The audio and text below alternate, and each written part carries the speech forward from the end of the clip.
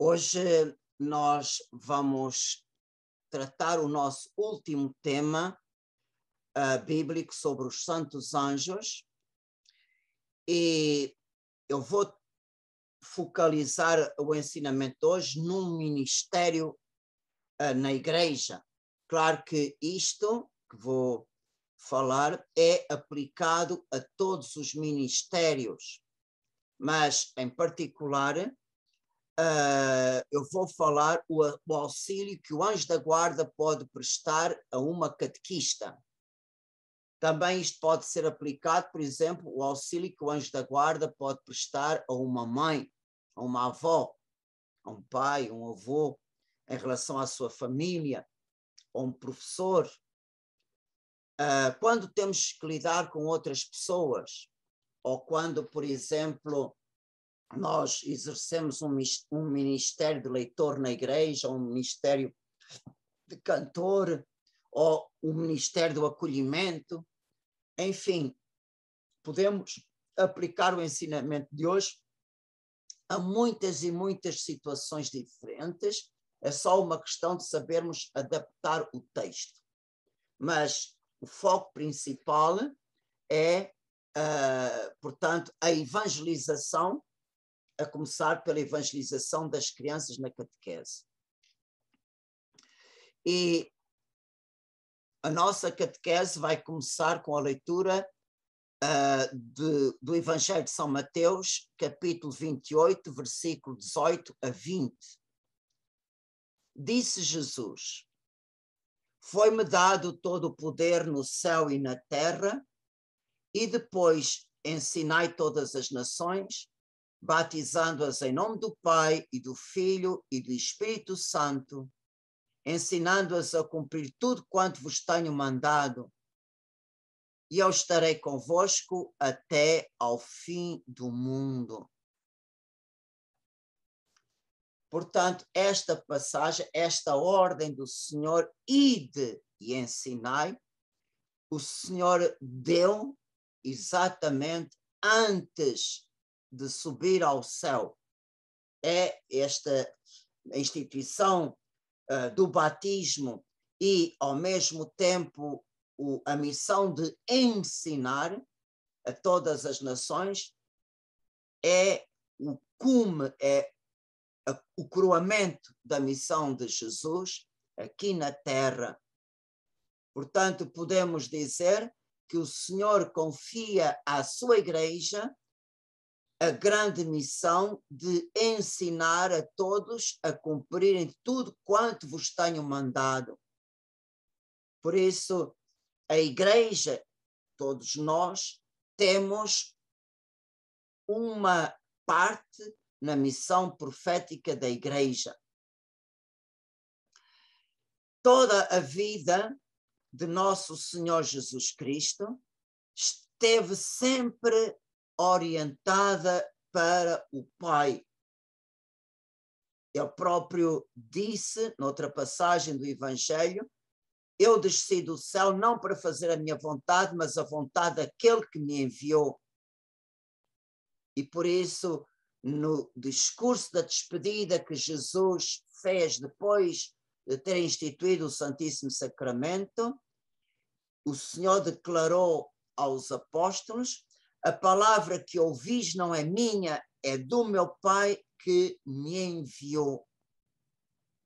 Portanto, nesta última frase de Jesus, ele deixa bem vincado, bem uh, uh, marcado, que a mensagem, o evangelho que ele proclamou, que ele falou, que ele anunciou, tudo que ele ensinou ele fez na mais perfeita fidelidade à vontade do Pai e tudo que ele ouviu do Pai, ele transmitiu. Com toda a exatidão, com toda a, a, a, a verdade, a clareza. E este anúncio, claro, é a missão principal dos pastores, do clero, são eles que ensinam, anunciam e transmitem a fé e a moral. Quer dizer, as verdades reveladas por Deus, que estão contidas na Sagrada Escritura e, em particular, tudo o que Jesus nos ensinou, tudo isto está contido no Credo. Portanto, a Igreja, através dos seus pastores, tem a primeira obrigação de anunciar as verdades reveladas, e a segunda tem a, a obrigação de uh, uh, indicar à humanidade o que é bom e o que é mau. Portanto, este mandato que o Senhor entregou em primeiro lugar aos bispos, aos sacerdotes e aos diáconos, que eles têm esta obrigação por causa do seu sacerdócio ministerial, mas todos os batizados participam pelo, pelo sacerdócio comum dos fiéis, participam também do sacerdócio de Cristo. Portanto, cada um no lugar que ocupa na igreja tem a participação neste ide e ensinai. E por isso, vocês sabem muito bem, e tenho a certeza que nenhum de vocês duvida isto, que esta missão de ensinar os sacerdotes não podem fazer sozinhos. Os bispos não podem fazer isto sozinhos, eles precisam da colaboração dos sacerdotes que trabalham nas paróquias, e os sacerdotes nas paróquias não podem fazer sozinhos, por isso, em muitas paróquias há os diáconos, e também os diáconos permanentes, que eles têm o ministério da palavra, dentro dos seus munos e também temos nas paróquias pessoas dedicadas à palavra, como é, por exemplo, os leitores. Os leitores são ministros da palavra. Enquanto eles estão a ler a palavra de Deus, podemos dizer que é Deus que fala pela boca deles. Como também estão os catequistas, os animadores uh, de grupos de jovens, os animadores de grupos bíblicos, uh, uh, os animadores de casais, dos movimentos de casais, portanto, todos que estão à frente de grupos de evangelização são ministros da palavra. Por isso, vemos que é da vontade de Deus que o ministério da palavra esteja distribuído por todos, não só por alguns. Vocês vejam na vida de Jesus, houve uma altura que o Senhor enviou os doze e houve noutra altura que enviou 72 dos seus discípulos. Talvez nessa altura o Senhor não enviou os doze, enviou 72 dentro da multidão dos seus discípulos. E qual era a missão destes 72?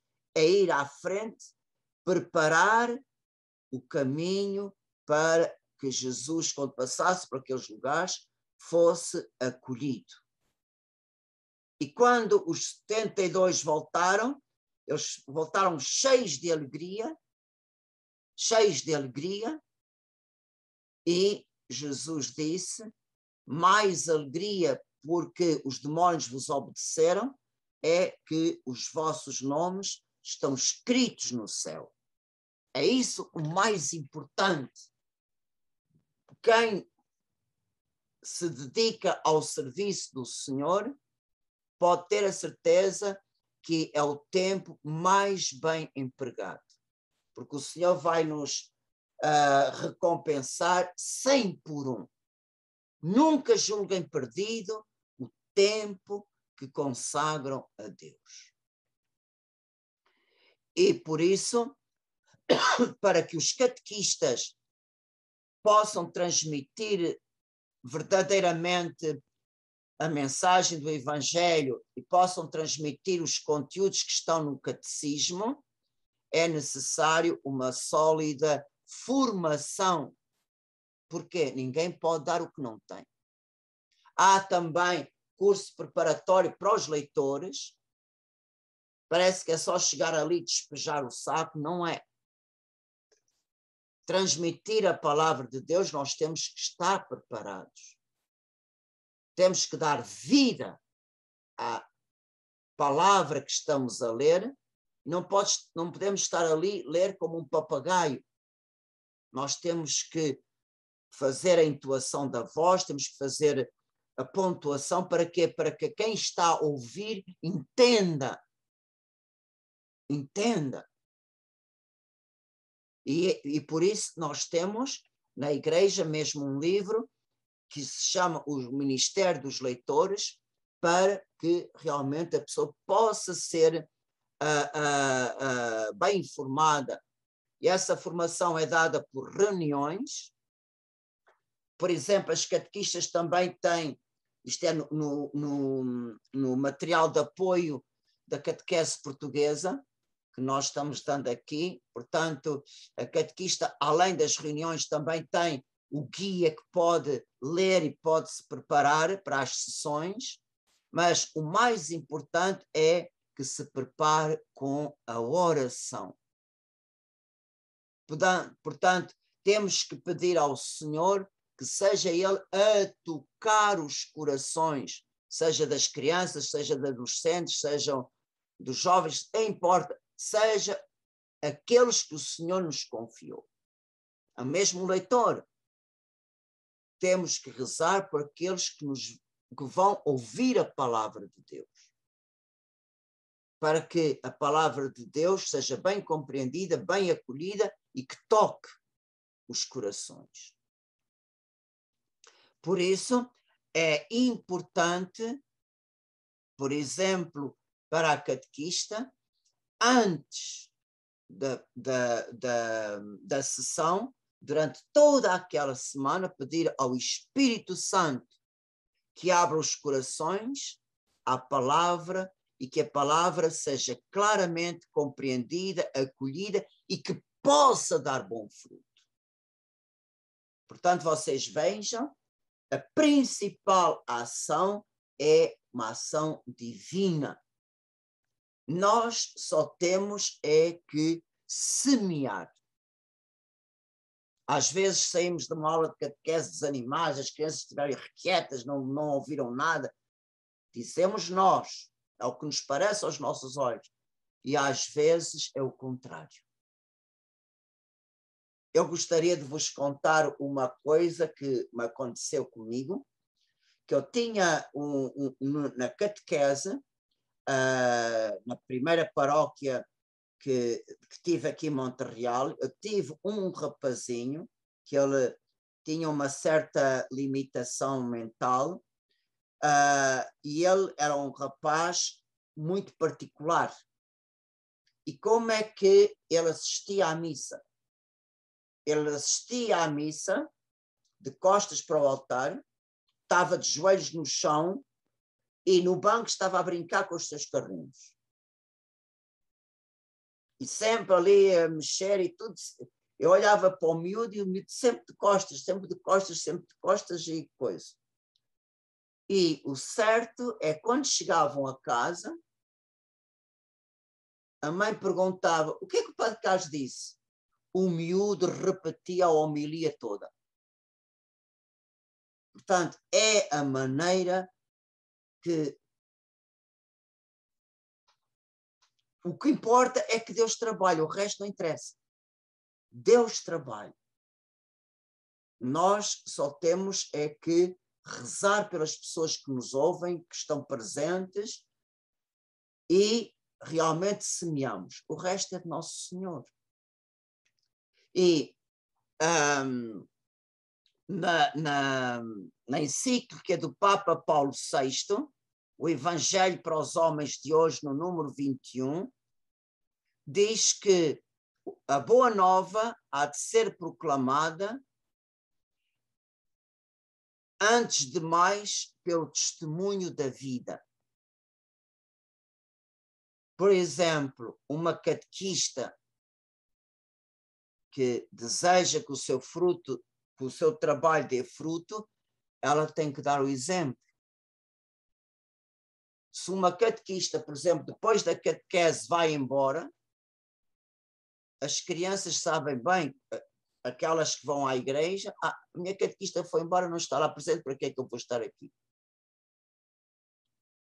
Por isso, é muito importante viver aquilo que se ensina. Portanto, vocês vejam, uh, uh, a nossa vida do dia a dia, se vivemos aquilo que escutamos na missa, vamos dar mais fruto. E se ensinamos, vocês sabem que os, as palavras comovem, mas os exemplos arrastam. E o Papa João Paulo II também consagrou uma hum, encíclica à evangelização. E ele diz que a forma fundamental da catequese é a família. E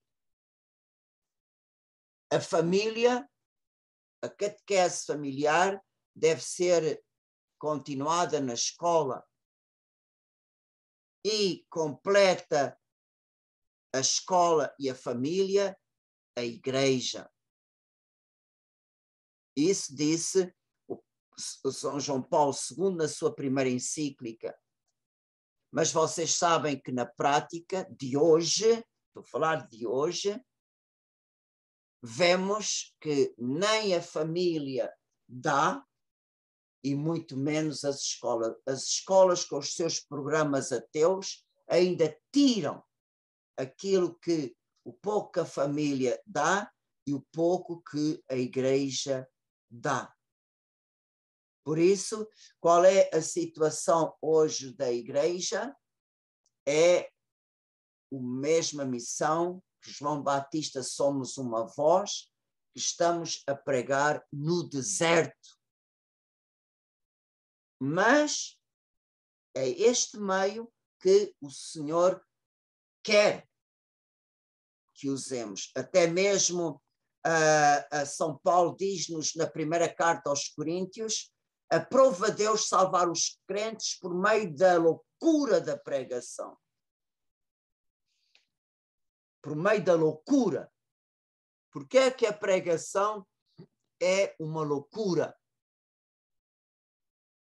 porque nós vemos que hoje estamos bombardeados por tantas vozes, tantas, tantas informações, tanta coisa, que a voz que clama a palavra de Deus fica afogada por tantas vozes.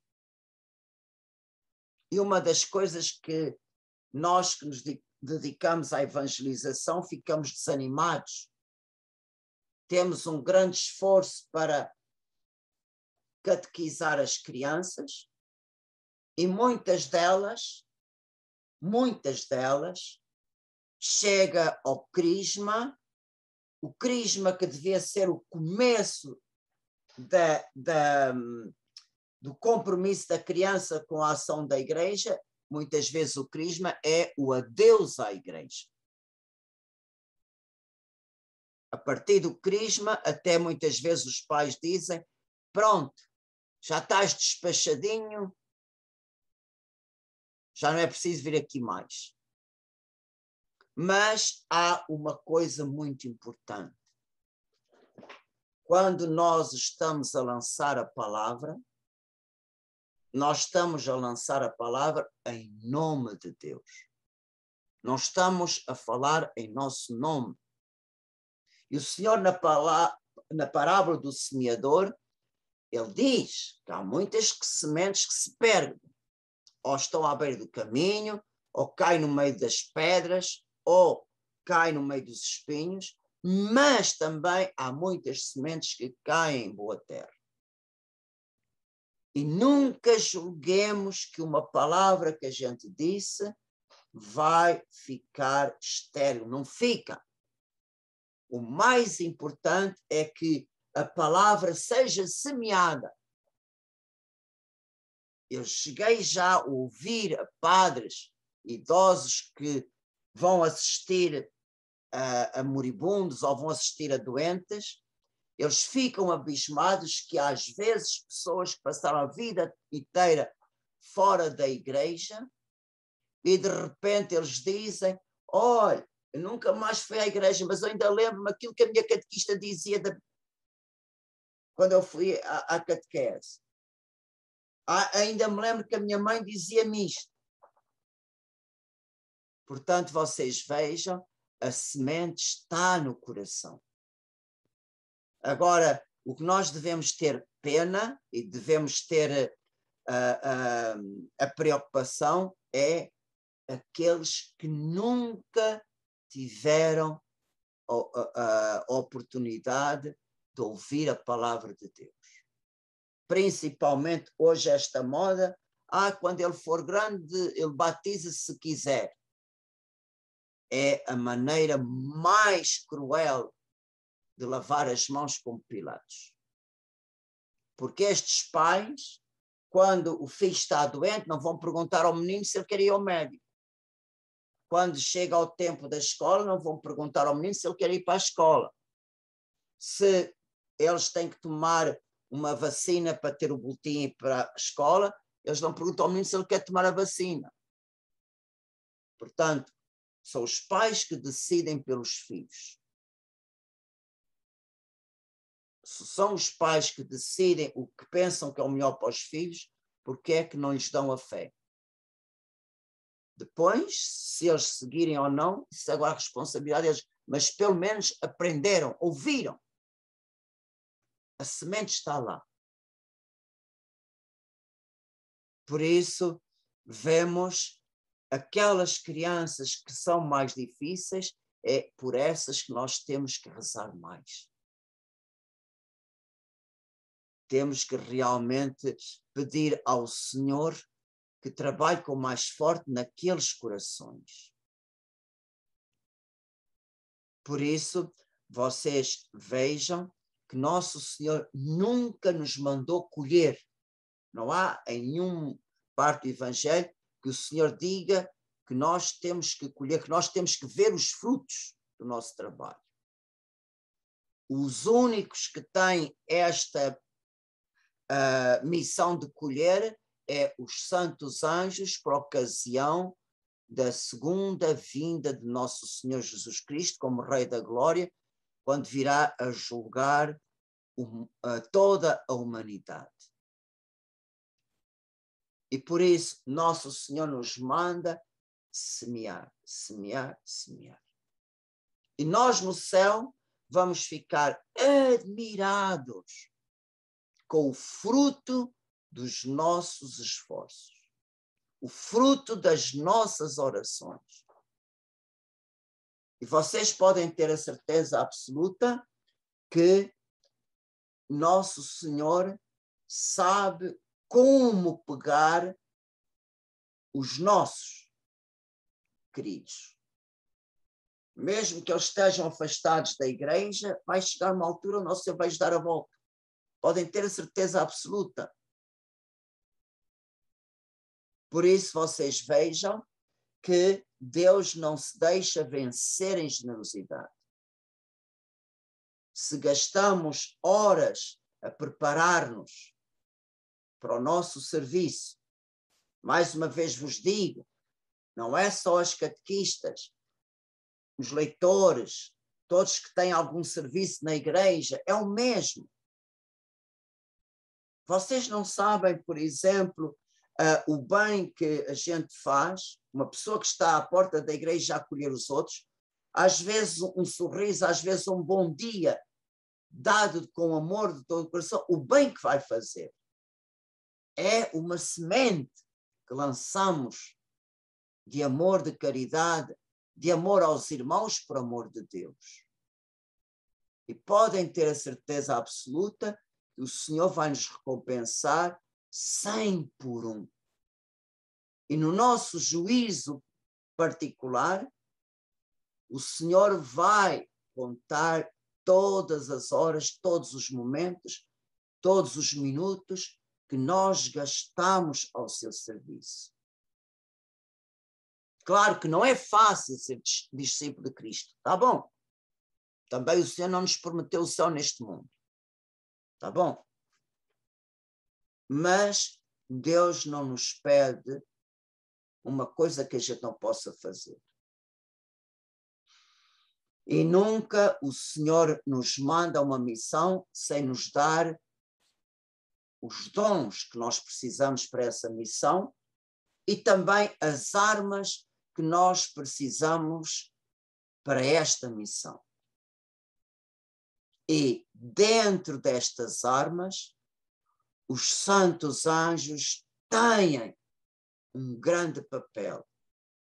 Não esqueçam, no âmbito familiar, vocês não se esqueçam dos anjos da guarda, dos vossos filhos, dos vossos genros, das vossas noras, dos vossos netinhos. Não se esqueçam, a vossa família é composta por pessoas humanas e pelos seus anjos da guarda. O mesmo posso dizer, uma, um ministro de acolhimento pode rezar aos anjos da guarda todas as pessoas que vão vir à igreja nesta hora que eu estou de serviço. Para que eu seja um instrumento que toque os corações. Somos leitores, rezar aos anjos da guarda por todos aqueles que vão ouvir a palavra de Deus. Estamos à frente de um grupo de adolescentes, de um grupo de jovens, igual. Estamos na catequese das crianças, é igual. Os anjos da guarda daqueles que estão conosco, com quem nós estamos a trabalhar, são um grande auxílio. Eu sei que para vocês isto é quase uh, uh, inútil a dizer, mas não importa, sempre é bom dizer. Os santos anjos não têm nada a ver com aqueles anjinhos vestidos de cor-de-rosa nas nossas procissões.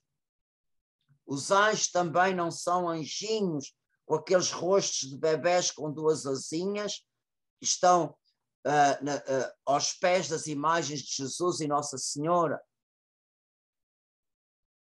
Portanto, os anjos não têm nada de bebés, não têm nada de cor-de-rosas. A Sagrada Escritura, e nós tivemos a oportunidade ao longo destes dois anos de catequese bíblica, nós tivemos uh, bastantes oportunidades de ver a força dos anjos, o, o poder, os, os ministérios dos anjos, a, a, a sua força. Portanto, são criaturas, só para lembrar, o livro do Apocalipse fala, por exemplo, São João diz que um anjo tinha a sua voz como um rugido de um leão, Apocalipse 10, versículo 3. Outro, como um trovão, Apocalipse 7, 2, 3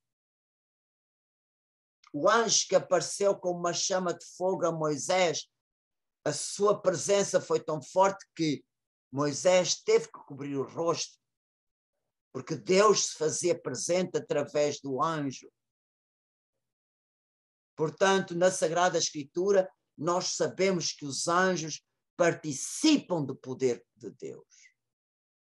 E por isso, nós não podemos esquecer de pedir a sua ajuda.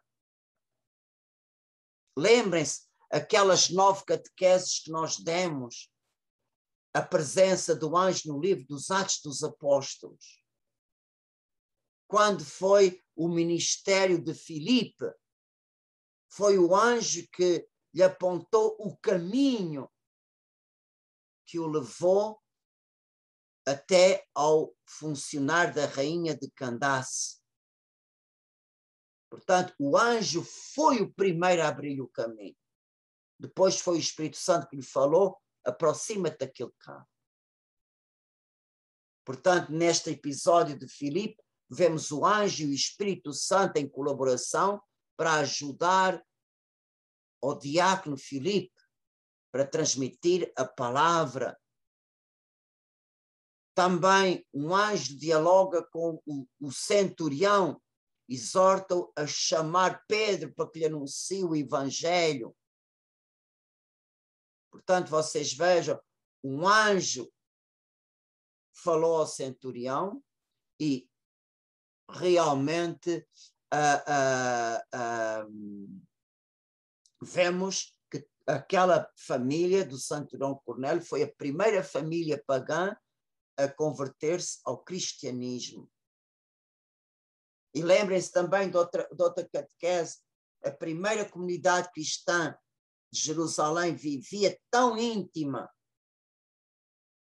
com os santos anjos, eles tinham uma familiaridade tão grande com os santos anjos, quando Pedro, depois de ser libertado da prisão, bateu à porta da casa de Maria, mãe de Marcos, realmente a, a criada Rode, quando afirmou que Pedro estava à porta, os outros disseram lá de dentro: se não é Pedro, é o seu anjo. Portanto, vocês vejam, se os anjos atuavam tanto na igreja primitiva, na igreja apostólica, a igreja de hoje é a mesma de há dois mil anos. O seu fundador é o mesmo, os sacramentos são os mesmos, o Espírito Santo é o mesmo. Por isso, as maravilhas de hoje, de ontem, são as mesmas de hoje e serão as mesmas de amanhã até ao fim do mundo. E por isso podemos contar com o auxílio dos anjos. E nós, na vida dos santos, principalmente nos grandes missionários, temos exemplos que nos animam, que nos dão coragem, que nos dão for força por exemplo, o primeiro pregador dos padres jesuítas, o beato Pedro Fabra, que foi companheiro de Santo Inácio de Loyola, que ele contava que quando ia nos países uh, onde havia heréticos e infiéis, ele sentia uma grande ajuda dos anjos protetores dos lugares por onde passava, os anjos da guarda, daquela gente toda. E, graças à invocação deles, os corações daqueles que o escutavam se abriam à palavra. Portanto, o beato Pedro Fabre, antes de falar com os homens, falava com os anjos. E eles não são surdos. Nós é que por vezes nos esquecemos e não temos confiança na sua ajuda. E, mais uma vez, eu vou vos citar uma, uma, um discurso do Papa São Pio XII, que ele disse poucos dias antes da sua morte, no dia 3 de outubro de 1958. Em 58, há 63 anos. Ele disse isto: nós devemos associar-nos aos santos anjos, devemos formar com eles uma família grande e forte, por causa dos tempos que virão sobre nós. Isto em 58. Se ele fosse vivo hoje, o que é que queríamos dizer? Portanto, em outras palavras, devemos associar, devemos unir-nos aos santos anjos, formar com eles uma família. Não é só anjo da guarda da minha companhia, guardar a minha alma de noite e dia, vai-te embora, já está despachadinho. Não. O, o, o Deus criou um anjo da guarda para nós não para a gente o despachar com meia dúzia de palavras. É necessário formar com o nosso anjo uma familiaridade, uma união vivencial, uma união de vida. E o Papa disse: porquê? Por causa dos tempos que virão sobre nós. Portanto, para grandes dificuldades que possamos estar a viver, o Senhor dá-nos grandes remédios. O Santo Padre Pio, que vocês conhecem muito bem, ele de Pietrelcina, também ele que viveu e que morreu uh, uh, nos anos 60, uh, ele dizia: Esta é a hora dos anjos. Portanto, para vencer o inimigo, para vencer os anjos maus, nós temos que recorrer aos anjos bons. Porque só eles, melhor do que ninguém, conhecem a astúcia do maligno. Nós só abrimos os olhos quando já estamos no chão, quando a gente já está caídos. Mas o anjo, antes que o demônio já esteja a atacar, ele já está a ver como é que ele vai armar-nos armadilha. Por isso, podem ter a certeza que os santos anjos são grandes auxiliares contra o ateísmo que hoje sufoca tudo, contra toda a ação maçônica que se reflete nos programas escolares ateus, que se reflete nas leis que tiraram Deus das constituições dos países. A palavra, os valores cristãos estão desaparecendo cada vez mais das constituições. Nós estamos hoje a ser governados por regimes ateus. E estamos a viver as consequências de uma sociedade sem Deus. Portanto, Nosso Senhor diz-nos no Evangelho: sem mim vós não podeis fazer nada. Então, o Senhor deixa-nos sentir a nossa limitação, deixa-nos sentir o nosso nada. Nós pensamos que somos donos deste mundo e este mundo foge-nos da mão, seja através das doenças, seja através das calamidades públicas. Estamos já a assistir há 20 e tal dias do, do grande vulcão na Ilha das Canárias. Ainda hoje uh, houve um tremor de terra de 4 pontos não sei quantos, mais uma área está sendo evacuada. Há um braço de lava que tomou outro sentido, portanto, há mais uma área em que as pessoas estão obrigadas a fugir. E a gente pensa, ainda disseram ontem no YouTube que uma casa de uns, de, bem rica de um casal reformado inglês, a casa rica foi abaixo com uma casa pobre. Não existe mais nada, está debaixo da, da lava do vulcão. Pronto. Nós não, não somos deste mundo e o que temos neste mundo é em, por empréstimo, não é nada nosso. Por isso, hoje, as pessoas estão muito enganadas.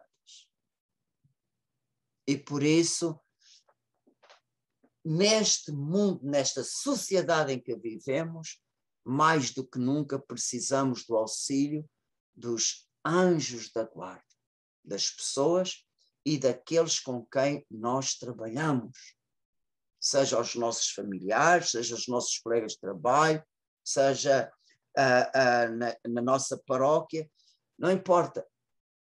Nós precisamos do auxílio dos santos anjos. E por isso, quer seja, mais uma vez vos digo, um leitor, um catequista, um animador de um grupo, uh, um, um, ministro de acolhimento, não importa. para cada encontro há sempre um antes, um tempo antes. Peçamos aos anjos da guarda daqueles que vão se encontrar conosco. As catequistas, os anjos da guarda das crianças que me vão ouvir. Isto é o tempo antes, durante. Meu anjo da guarda, anjo da guarda das crianças, pondo na minha boca palavras de sabedoria e abri os seus corações para que escutem. E depois do encontro, agradeçamos aos anjos o auxílio que nos prestaram, mesmo que a gente não veja nada. Mas podem ter a certeza que o anjo não ficou sem agir. Mais uma vez digo, devemos semear sem querer ver os frutos. Deus não nos manda colher, nos manda semear na fé. E por isso, depois, temos que agradecer. Agradecer o auxílio ao nosso anjo da guarda pelo ministério que nós fizemos agradecer aos anjos da guarda por eles ter atuado nos corações de todos aqueles que encontramos. E porquê? Porque a gratidão é uma chave de ouro que abre o coração para novas dádivas. O quem sabe agradecer a qualidade, as duas grandes qualidades da gratidão é a humildade e a alegria. O orgulhoso não tem isto. Portanto, só sabe agradecer quem é humilde e tem aquela alegria do Espírito Santo no seu coração. Pode ter a certeza absoluta. E qual é o fruto da gratidão? É abrir o coração para novos favores. O anjo fez, nós agradecemos, para a próxima vai fazer mais. Porquê? Porque nós reconhecemos o bem que ele nos fez. Portanto, é esta vivência que o Papa São Pio XII nos convidou a fazer, por causa dos tempos que hão de vir. Por isso, deixemos os santos anjos da guarda participarem mais na nossa vida. Eles não estão aqui para passar férias ou para serem espectadores.